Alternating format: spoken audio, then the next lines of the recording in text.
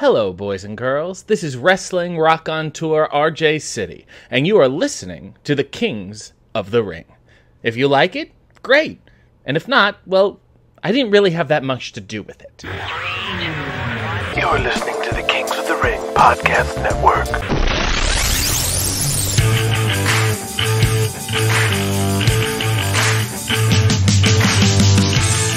Welcome to the Kings of the Ring, fictionalized and romanticized retelling of the 1980s wrestling wars, following the rise and fall of the power brokers of the sport while offering a peek into the sex, drugs, and muscles lifestyle of the 80s wrestler and the sacrifices they make for success. Today's extra scene will be the listing of the matches for the Alliance Super Bowl of Wrestling card. If you don't hear this, it's because you're listening to the wide release version of Kings of the Ring. To hear the extended version of the show, simply sign up to be a patron. Patrons hear the extended editions of each episode for season 3 and 4, get the newest episodes a full two weeks before normal people do, access the Breaking Kayfabe, the exclusive podcast series that explains the inspirations for many of the Easter egg references and inspirations for the storylines in Kings of the Ring, plus we name a character after you. DeShawn Brown, that's the name of one of our patrons, and that character is named after him. You get all these benefits plus supporting the most unique podcast in all of wrestling and audio drama at patreon.com slash kingsotr.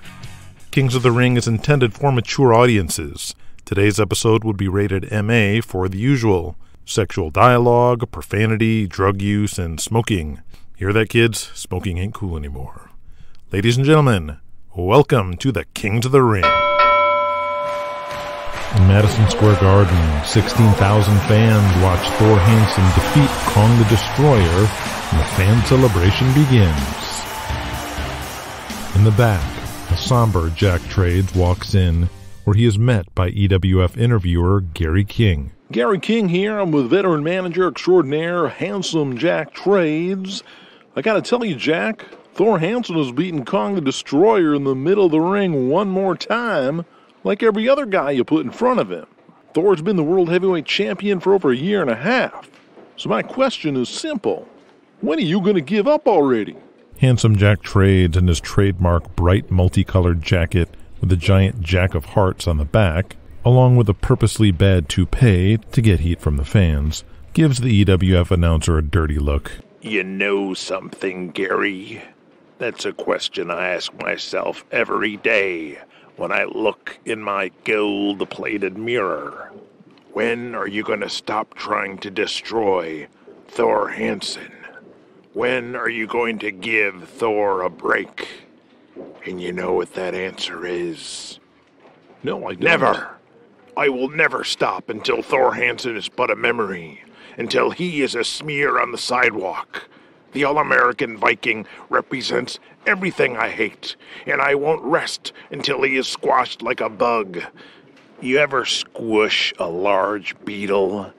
Its green guts squirt out and burst. That's what I'm gonna do to Thor Hansen. How are you gonna do it?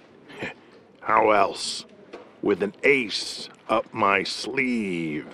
What? I am the greatest manager in the world, and I make a lot of money. It's time I put it to good use.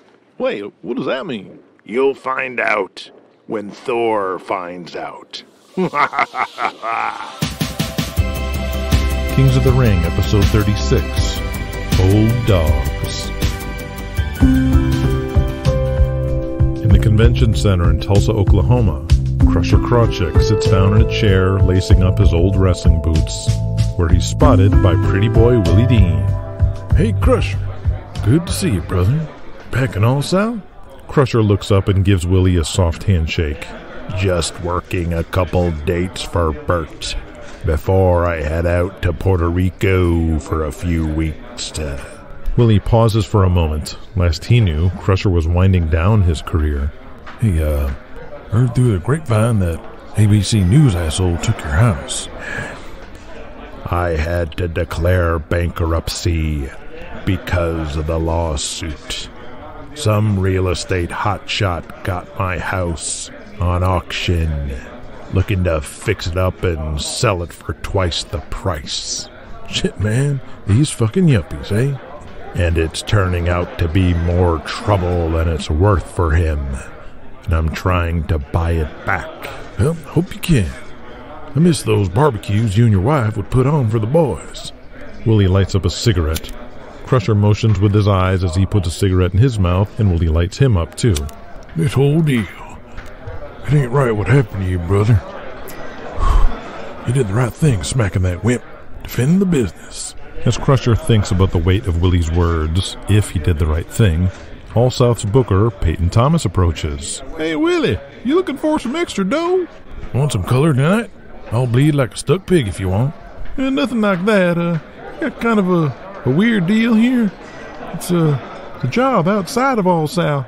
Sure, where is it? It's in Dallas, but it's uh Some outlaw show? Don't think the Alliance like you booking us for shit like that. No, no, it's not an outlaw show. It, it's not really a show at all. Uh, I don't even know how to describe it. It's it's just one match uh, without fans.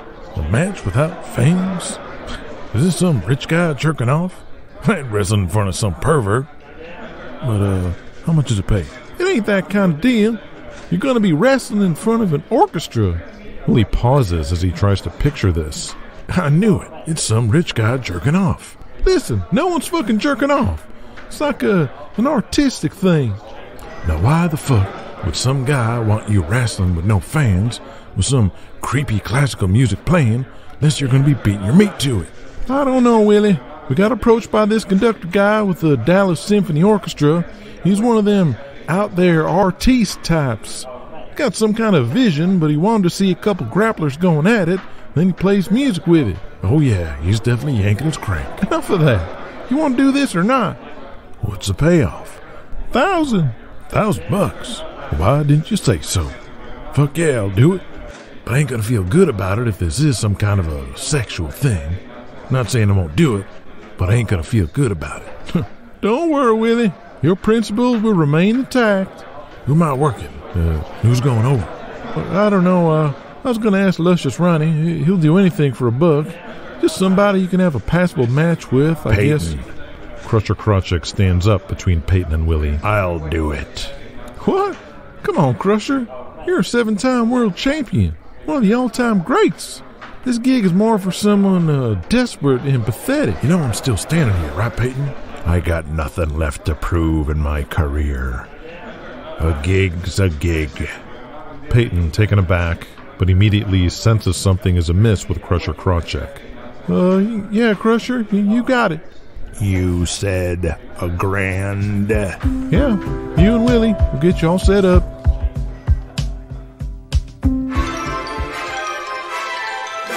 At Spago, the trendy restaurant where all the big deals get made in Hollywood, Jimmy Buck is with the producers of a new movie called Running Scared, as he's up for the lead part opposite Gregory Hines.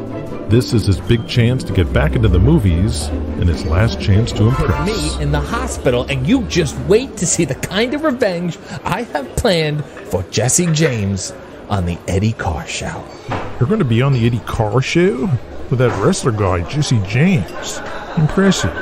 Yeah, the wrestling thing is, uh, how do I put this? Uh, we like you, Jimmy. Uh, we seen the real Morty put together. Uh, funny stuff with the girls and the Jesse James guy, uh, the whole thing.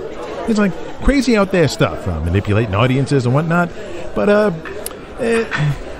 What Murray's trying to say is we really don't have a firm understanding of where your head is at. Jimmy, people talk, you know, and nobody knows. Is this performance art? Is this real? You gotta help us understand, Jimmy. We can't afford any wild cards on set. So tell us now. This is all shtick, right? Jimmy puts his finger on the side of his nose and winks. Sure, it is. They look at him perplexed and even more unsure. Morty, who's chomped more of his fingernails than his Cobb salad, nervously puffs away at yet another cigarette. Jimmy is just joking. It's, it's all an act. Maybe it was at first, maybe, but you know, things uh, get out of hand, tempers flare, right, boys? Jimmy looks at the man like he's sharing a secret, while Morty buries his face in his hand. Morty screeches his BMW down Wilshire Boulevard away from Spago as Jimmy Buck is confused. Hey, Vay, what the fuck was that? What were you thinking? Are you nuts or something? What are you talking about, Morty? Those guys in the palm of my hand. They love it. They love me. Morty takes one last drag of a cigarette and flicks it into the street, shaking his head, while Jimmy looks out at sunny Hollywood and smiles.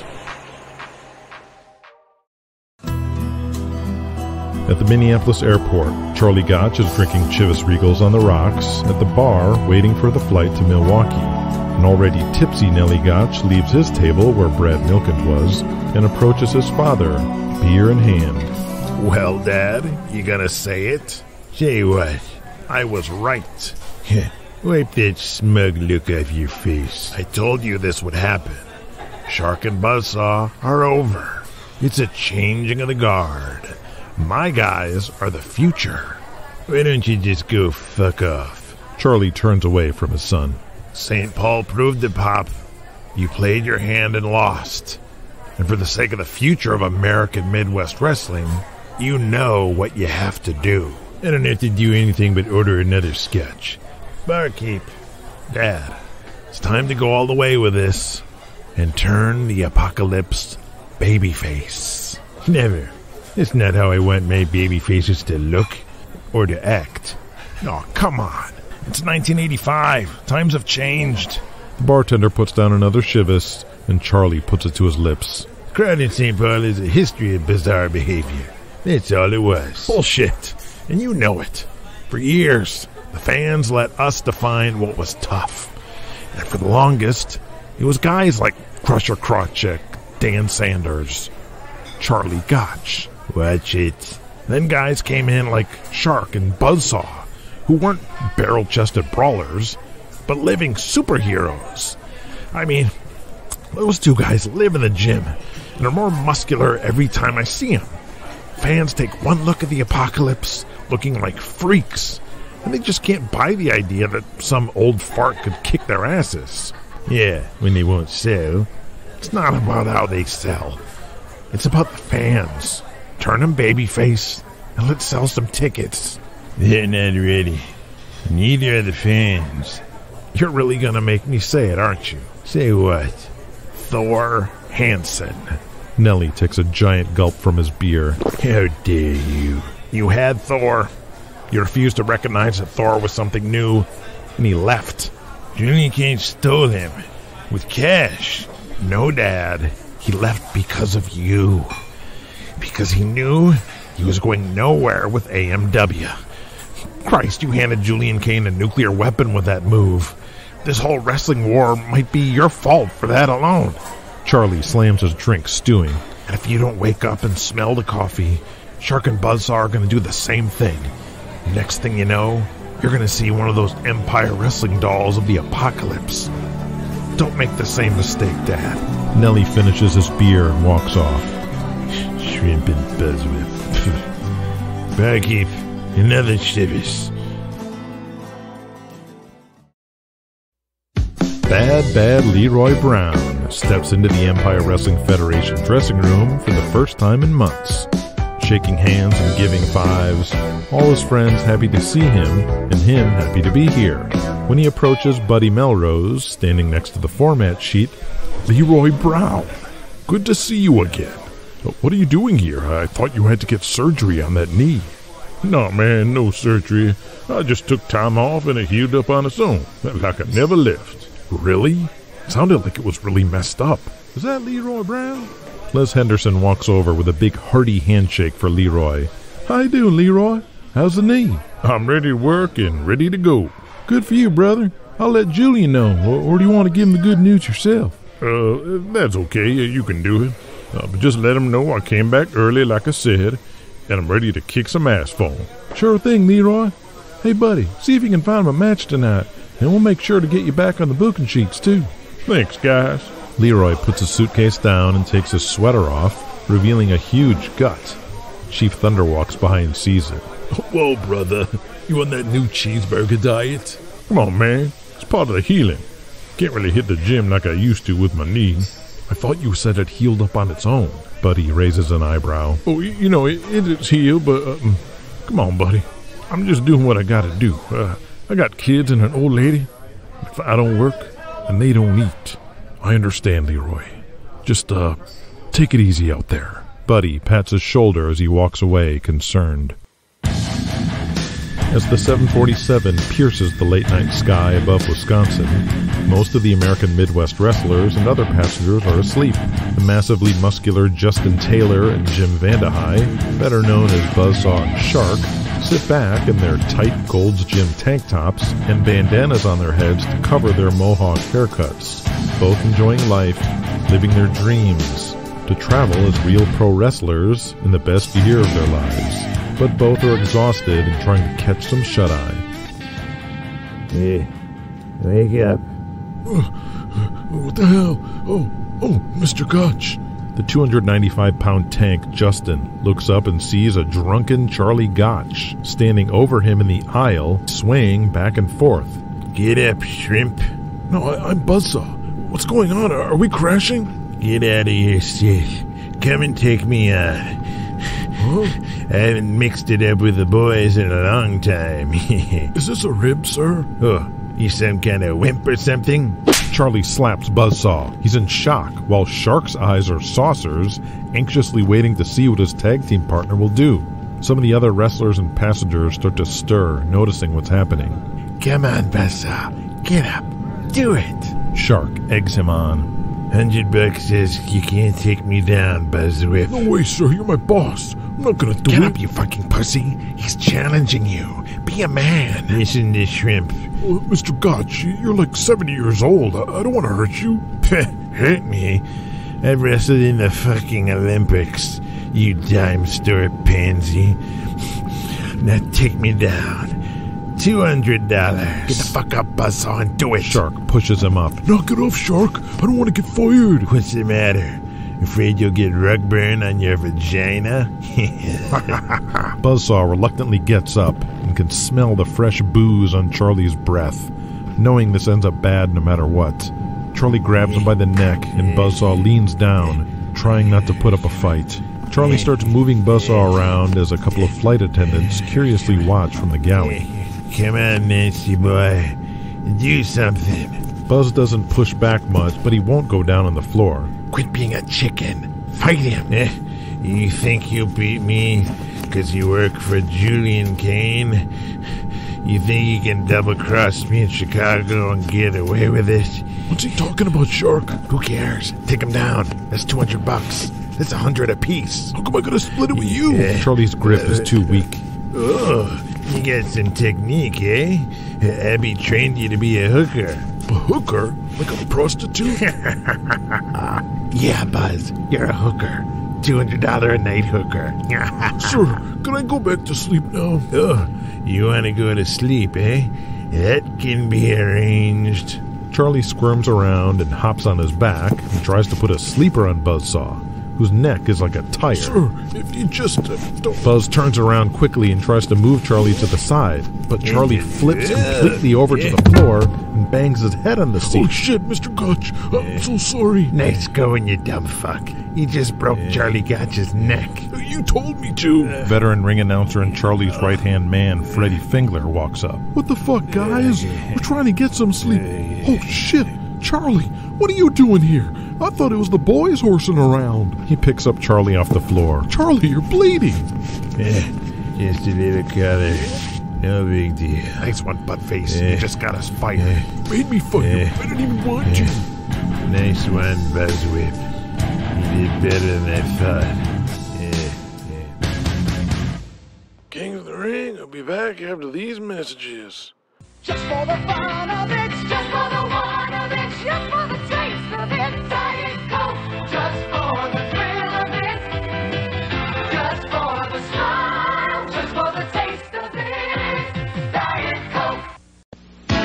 world of millions, the nicest things still happen between just two people. Who's him? Oh, son of a... God, hey, And when you brush your breath with Dentyne, being together is nicer for everyone. You're really here. Because not even mouthwash can freshen your breath better than when you're chewing lively, long-lasting Dentyne. the whole wide world for you. Now it's down to just you two. Brush your breath with Dentyne. When I return to Kings of the Ring.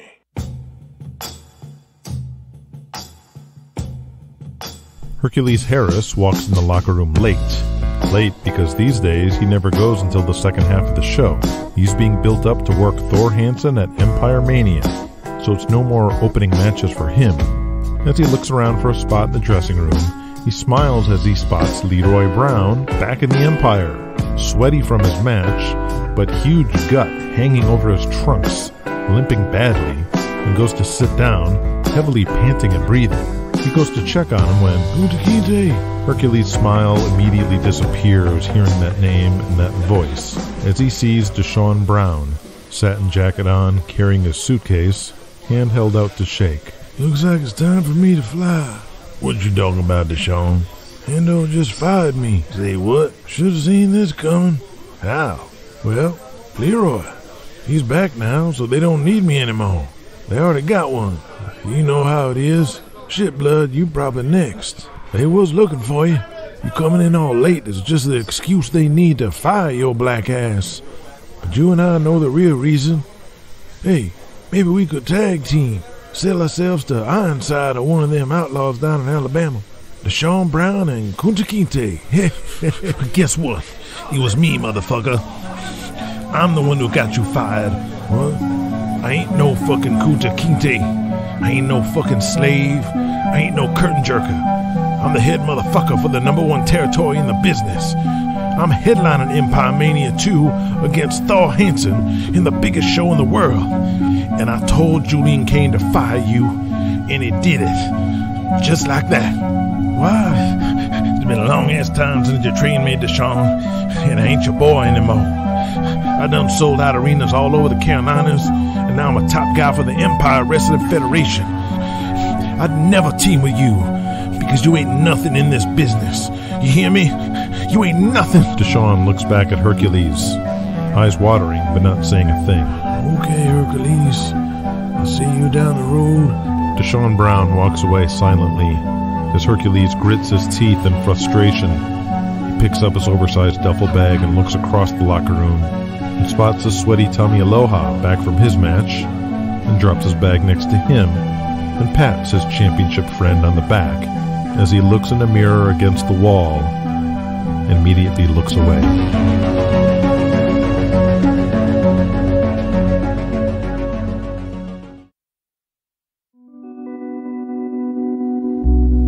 What was once way out west of Hudson Street is now site of the dramatically expanding section of Greenwich Village in New York City.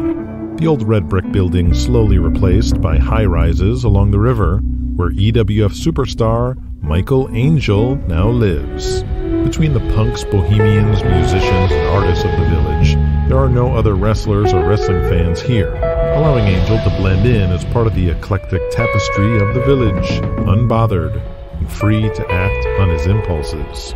Like his visits to the piers along the west bank of the Hudson River, the unmentionable part of town where Michael frequently picks up his house guests for the night. Why the fuck are you still here? In his loft apartment, Michael sees a young man in his kitchen, in jean shorts cut off right below his ass cheeks, and socks pulled up his shins with blue horizontal stripes. Good morning to you too, baby. Listen, we need to talk about last night. You took the rubber off. Yeah, I I don't like wearing them. Not like I can get you pregnant or something. No, but it's the 80s. We should still be practicing safe sex. Safe? I didn't get rough at you at all. Michael stands, his muscular body starting to soften up in the middle. Anyway, someone named Gabe called while you were sleeping. He sounds like a hunk. Is he? You talked to Gabriel on the phone? No, answering machine, honey. Michael, it's Gabe, your brother Gabe. Uh, long speak. Got your number from Nigel. He said you're going to be in Kansas City on the 15th. I'm working a spot show in Topeka for Daniel Hawkins same weekend. Uh, wondering if you want to meet up for a beer. I can drive on up that old Thirsty Cowboy Saloon out in Bonner Springs.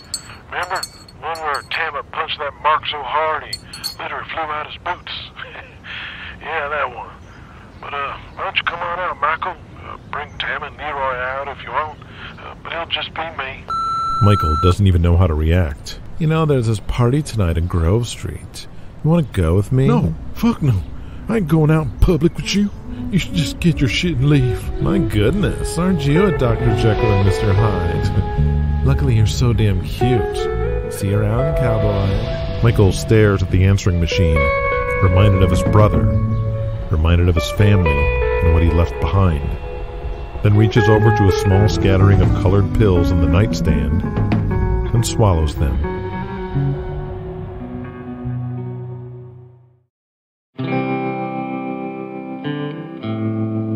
Donny Gold sits on a paper lined seat where he seemingly spent half his life these days, the Charlotte Hospital, meeting with his doctor. His look continues to change, his body getting out of shape, his trademark bleach blonde locks barely able to cover the dark roots growing from underneath like weeds, his clean trademark jaw starting to get covered by a dark beard stubble. The doctor points at the x ray film on the light box on the wall. I have good news and bad news, Donny. The fractures in your spine have healed 100%. The bone has responded tremendously to the treatment and medicines. It's it's quite impressive. Then why can't I walk or move my legs at all? I can't say. The surrounding tissue is almost completely healed, yet the nerve endings are still unresponsive. Dick, I'm a wrestler. What am I supposed to do? Donny, I'm not a wrestling fan, but even I know who you are. You told me you're a millionaire and with no family. You must have a fortune saved. With the right investments, you can make that last a lifetime. Donny just looks down in sorrow. Just keep up with the supplements and manually moving your legs at the clinic, and we'll check your progress in a month. A month? I don't even know if I'll be here in a month. Where are you going? Uh, I wouldn't recommend any long distance travel at this time. Don't worry, I won't be going anywhere. What was that, Donny? Nothing.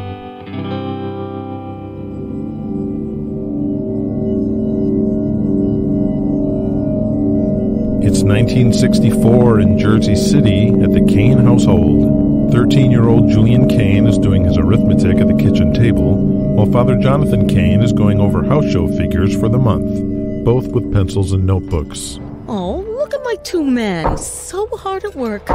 Like father, like son. Julian looks to his father for a reaction until someone walks in. Jenny, my boy, you in here? The near 50 year old Charlie Gotch bursts into the kitchen, accompanied by a recent high school graduate, Sal Spinelli. Hey, boss, I've been working on my Dominic Dante pose. The 20 year old clutches his hands together and sucks in his stomach and puffs out his chest from the side. Think I'm ready to start wrestling yet? Not quite, Sal, but Dominic will let me know when you're ready. In the meantime, lay off the braciole, or that belly of yours is gonna burst. Gloria, come here, sweetheart. He leans in and gives a friendly kiss on the mouth. She awkwardly looks around, forcing a smile, as Julian watches everything. He sees she won't even look him in the eye. Oh, my. Hi, Charlie, come in. Can I get you a drink? Double Chivas on the rocks? You get it. Sal walks over to the bottles and waves her off. I got it, Gloria. I'll take care of the old men. Thanks, Sal. Julian, say hello to Charlie Gotch. He's here from AMW in Milwaukee. I remember him. The last time he was here. Surprised he can even see me through that mop on his head.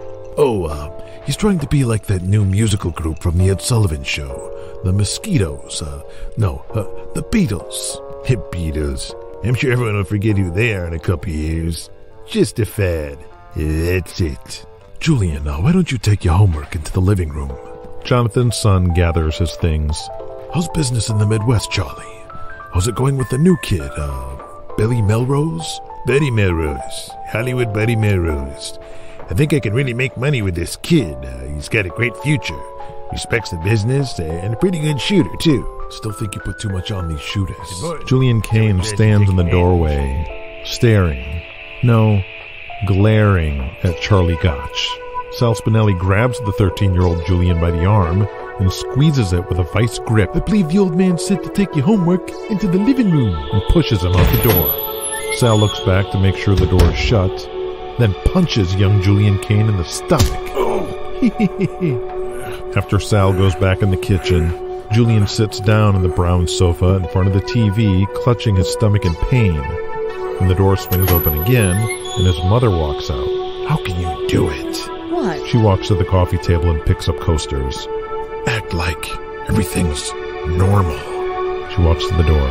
I know what he did. She freezes in her tracks and fumbles the coasters in her hand. I don't know what you're talking about. When I was eight years old, last time he was in our house, he took off his pants. Julian, whatever you think happened didn't. You're just an imaginative little boy. Boy, I'm about to be a man. You don't know anything about the world. Just drop it. I know what he did. I was. Enough, Julian. I don't want to hear another word. And you'll say nothing of these figments of your imagination to your father or anyone. You mean it. Swear to me, Julian. How can you just pretend like nothing ever. Swear it, Julian. Okay, I swear. She walks over and turns on the TV. Here, Empire State Wrestling is on.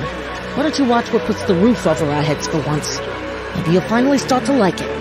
She pushes through the door as he looks at the television. The pain in his stomach from Sal's punch, only drowned out by the pain of what's happening with his parents. When he sees something on the screen he's never seen before, a young man steps into the ring, tall enough to step over the top rope. This man is different from anyone he's ever seen in his life.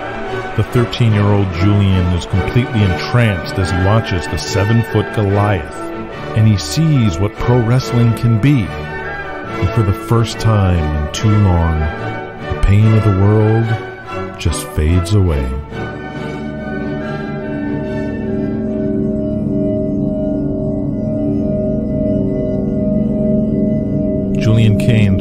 In his den listening to Beethoven on his new tape deck in his swanky Manhattan apartment. His son Cameron Cain doing his arithmetic at the kitchen table, while Sarah prepares dinner.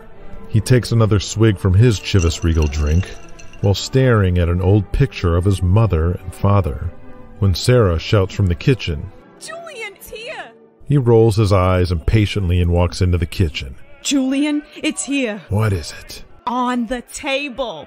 He looks at the kitchen table and sees a gold foil envelope wrapped in a red velvet ribbon. He stops as his eyes flicker. She nods her head as he looks at her. This is it, isn't it? He opens the envelope and sees the parchment paper inside. What he's been waiting seemingly his entire life for. The official invitation from the Sam Worthington Social Society. Yes. Stuart Flaherty and Matthew Rogers came through. I'm in. The next party is soon, Sarah. Tomorrow you're getting a new dress. You don't have to tell me twice. Julian sets it down carefully like he was handling the actual Declaration of Independence. He looks off to the side with a tear in his eye. Finally, vindication. This is it, Sarah. I have arrived. My father could only dream of being in the Hollingsworth Society. And now, I'm in. She kisses and hugs him. Yes, and to commemorate this occasion, my arrival in the elite of New York City, I've just made an incredible decision. I am going to put Empire Mania in Milwaukee. You're gonna put your biggest show of the year in Milwaukee? Granted, the Mecca Arena will only hold around 12,000 people, but it's not about that. It's the headquarters city of American Midwest Wrestling, and Charlie Gotch's hometown. This Charlie again. What is your problem with this man?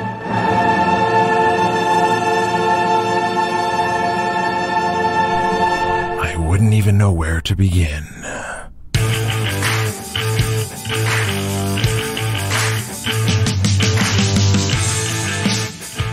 Thanks so much to RJ City, Evan Ginsberg, and Cyrus Fees, and many others for their contributions to the show, the Mana Sports Media production team, and of course, you, the listener, for enjoying Kings of the Ring and continuing to spread the word about the show all over the world.